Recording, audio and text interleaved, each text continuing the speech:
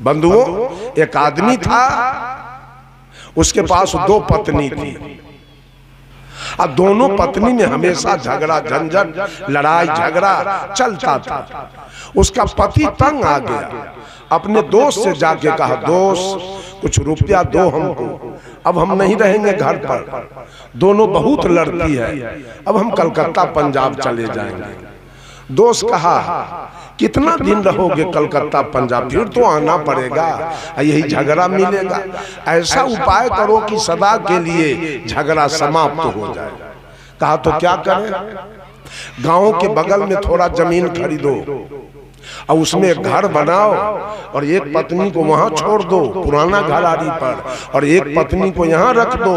दोनों में दूरी बनेगी। भेंट मुलाकात होगा नहीं। झगड़ा बंद।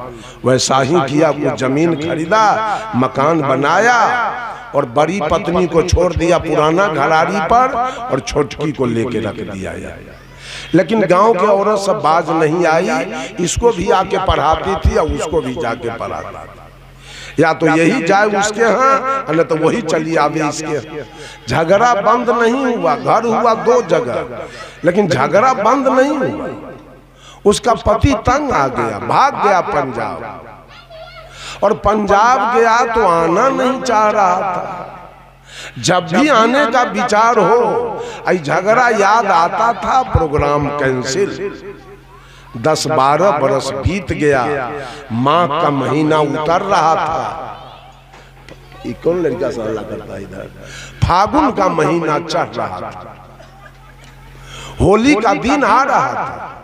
इनकी बड़ी पत्नी चिट्ठी लिख रही है। पति के पास। पति देव आपके चरण कमलों में मेरे तरफ़ से सादर प्रणाम।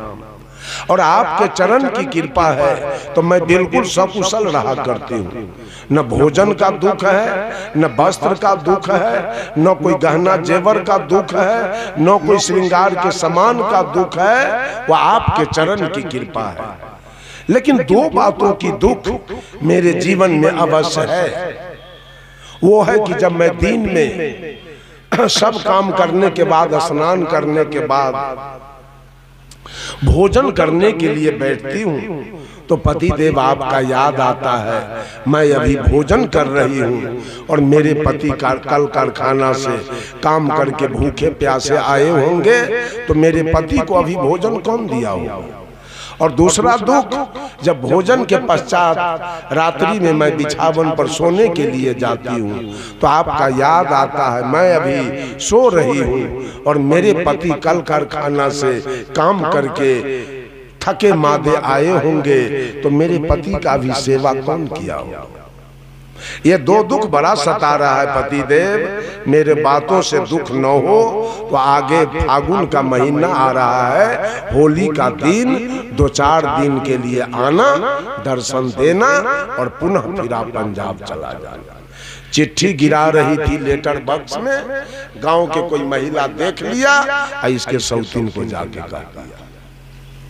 तुम्हारी सौतीन चिट्ठी लिखी है ऐसा न हो कि कपड़ा जेवर मिठाई रुपया सब उसी के यहाँ आ जाए। तुम भी लिखो चिट्ठी। कल हो के छोटकी लिख रही है।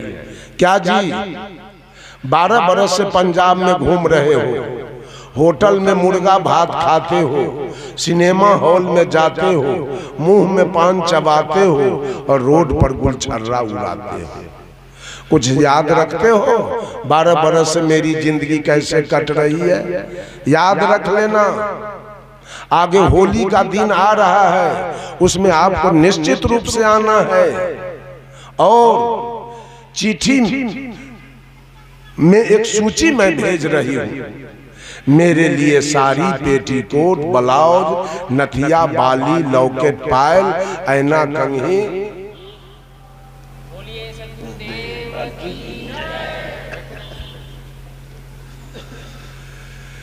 लेके आना। और यह भी सोच लेना, चिट्ठी का सच्ची प्रतिलिपि मेरे पास रहेगा। एक भी सामान कमी आया, एक भी सामान डुप्लीकेट आया तो एक भी झाड़ू धरती पर नहीं गिरेगा। चिट्ठी गिरा दिया, चिट्ठी गया पंजाब ये बेचारा पढ़ा और गया दुकानदार को चिट्ठी दिखा दिया।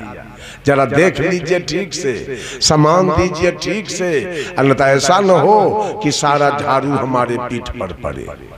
दुकानदार सही सही सामान दे दिया। पोलीथीन में लेके आया डेरा पर और अटैची में सजाया दो अटैची सामान हुआ। टिकट कटाया गाड़ी में बैठ गया। आया स्टेशन से दो चार किलोमीटर के दूरी पर। इसका घर था। बारह बजे दिन, उस समय कोई रिक्शा टमटम स्टेशन पर नहीं था। सोचा इतना दूर तो हम पाँव पैदल भी जा सकते हैं। दोनों हाथ में अटैची उठा लिया, वहाँ से चला। रास्ते में पसीना भर गया उसको।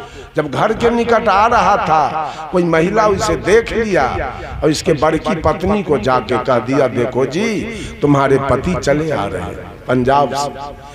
बड़की तो समर्पित है पति के साथ। दौड़ती है, जाती है। पति देव को पैर छू के प्रणाम करती है। दोनों हाथ से अटैची लेती है। आगे आगे पति देव, पीछे पीछे चल रही। है गई अपने दरवाजे पर, घर नहीं गई। ईमानदार कितनी है? अटैची रख दिया दरवाजे पर। सबसे पहले पति के लिए बिछावन किया। पति देव बैठ गए, थाली में जल लाई पति देव का चरण पखारी।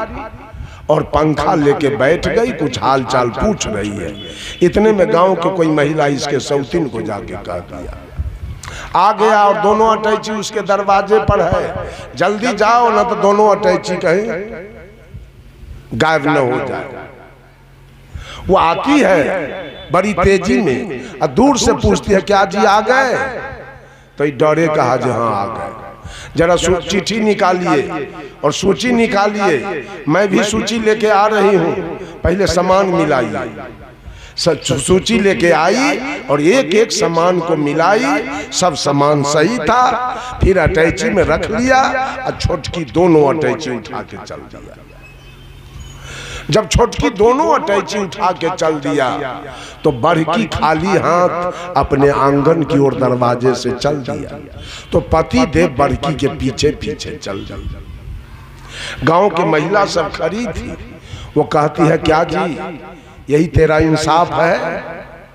यही न्याय है। जब जानते हो दो पत्नी तुम्हारे पास है और बारह बरस पर आए हो और होली का पर्व है और दो अटैची लाया तो वाजिब था दोनों को एक एक अटैची दे देना। लेकिन तुमने छोटकी को दोनों अटैची दिया। अब बड़की के पीछे खाली हाथ जा रहे हो। यही वाजिब है। पति ने जवाब दिया, सुन लो, ये जो मेरी छोटकी पत्नी है इसको हमारे समान से प्रेम है तो समान लेके ही जा रही है। और ये जो मेरी बड़की पत्नी है इसको हमारे जान से प्रेम है।